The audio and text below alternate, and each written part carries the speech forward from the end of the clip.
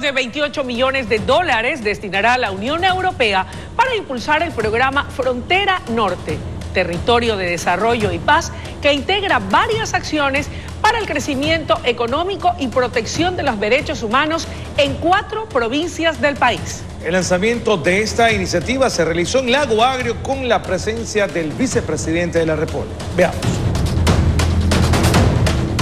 El programa beneficiará a 16 gobiernos autónomos descentralizados municipales de Esmeraldas, Carchi, Imbabura y Sucumbíos. El vicepresidente de la República señaló los tres ejes de acción de esta propuesta. Se trata de llevar el desarrollo con infraestructura básica, sobre todo a las zonas rurales. Y el segundo eje fundamental de esta iniciativa tiene que ver con el acompañamiento, la asesoría, pero además el financiamiento concreto de proyectos productivos, sobre todo en agricultura, y probablemente también en turismo, que yo creo que es donde hay mucho potencial en la Amazonía. El tercer énfasis va en las alertas tempranas para la paz, cómo identificamos problemas sociales a tiempo para poder evitar que escalen. Durante el lanzamiento del programa Frontera Norte, Territorio de Desarrollo y Paz realizado en Lago Agrio, se dio a conocer que la Unión Europea destinará alrededor de 28 millones de dólares para impulsarlo. El programa nació luego de una llamada del presidente de la República,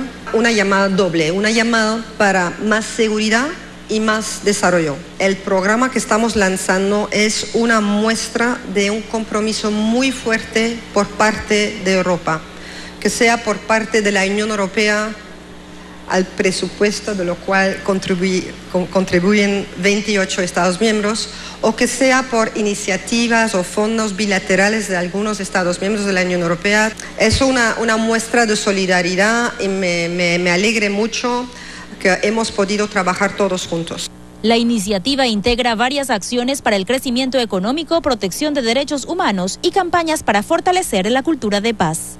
Informó Roselena Vasconés.